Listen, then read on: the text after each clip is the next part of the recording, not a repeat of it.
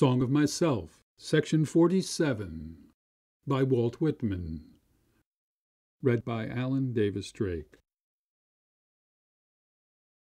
I am the teacher of athletes. He that by me spreads a wider breast than my own proves the width of my own. He most honors my style who learns under it to destroy the teacher.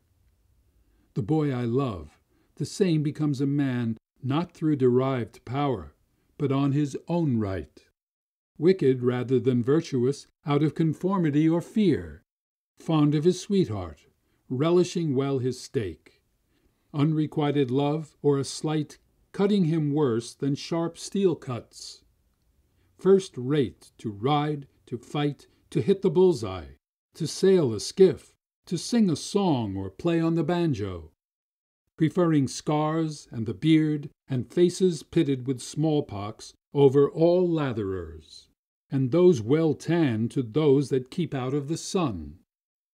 I teach straying from me, yet who can stray from me? I follow you, whoever you are, from the present hour.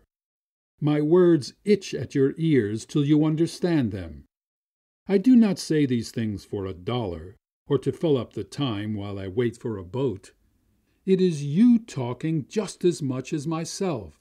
I act as the tongue of you, tied in your mouth. In mine it begins to be loosened.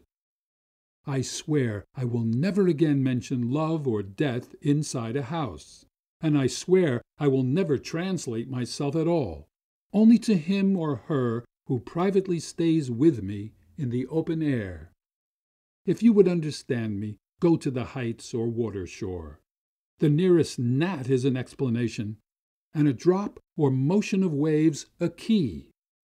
The maul, the oar, the handsaw second my words. No shuttered room or school can commune with me, but roughs and little children better than they.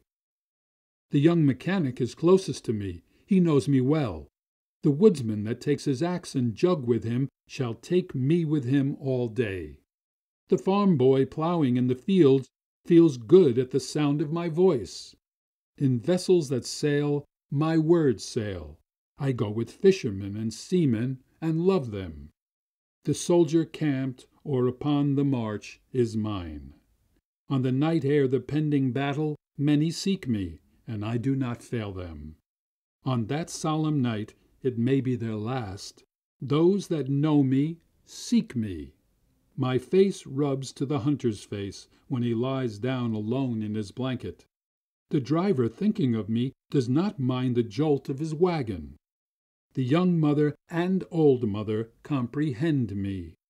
The girl and the wife rest the needle a moment and forget where they are.